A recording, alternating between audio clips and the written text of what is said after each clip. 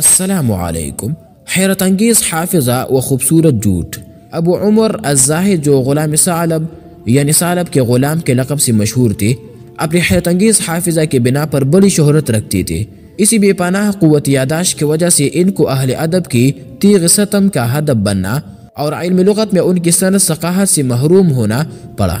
جبکہ طبق محدثین نے انہیں سقہ قرار دیا تھا.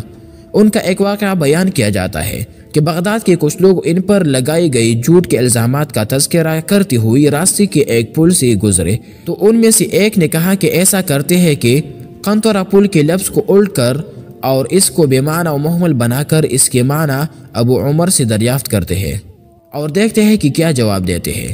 جب ان کے پاس پہنچی تو اس شخص نے کہا، ایوہ الشیخ مل حرنتق عند العرب یعنی حضرت عرب کے ہاں ہر حرنتق کیا شے ہے؟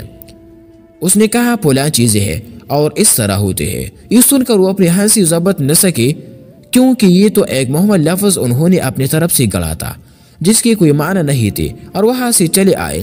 تقریباً ایک مہینے بعد پھر انہوں نے کسی دوسرے شخص کو ہرن تک کے معنی دریافت کرنے اس کے پاس بھیجا۔